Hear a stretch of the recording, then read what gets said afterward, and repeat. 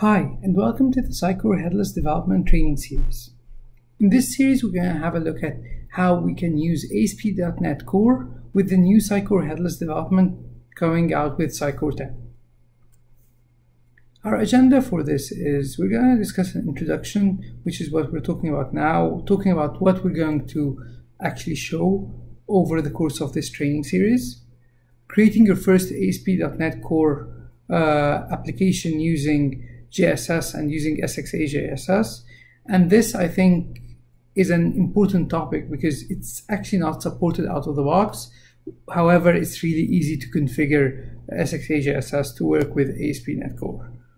Then we're going to look at how to create the actual layout host, creating the header and footer partial designs, creating custom components with rendering variants or with the same concept where we have different variants for the same component, creating news listing, creating news details page, using GraphQL.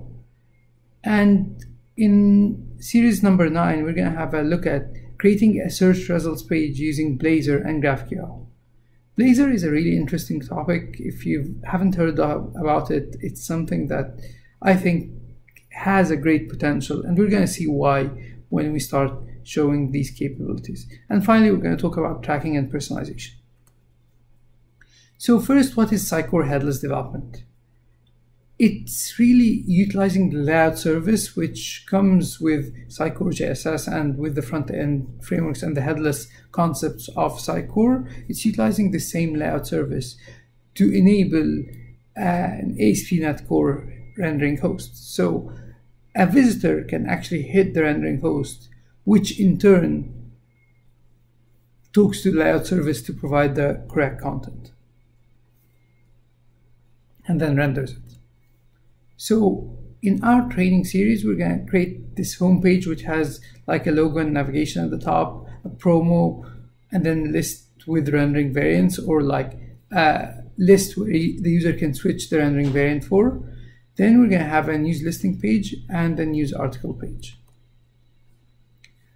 Let's start with a demo. So I want to show you what we want to accomplish at the end. So this is ultimately how the HTML of it looks like, uh, which is going to be like, this is, I took the MVP site and I just changed its content to be dozen, which is our website. So dozen.ai is actually, looks quite different, but I just wanted to keep things simple and focus on the capabilities. So that's why I use that. So I don't have to go through creating the CSS and so on.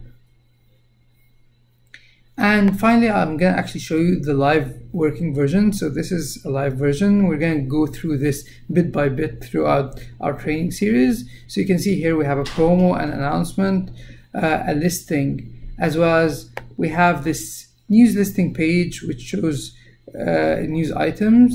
And then you can click on one to see the news details for it.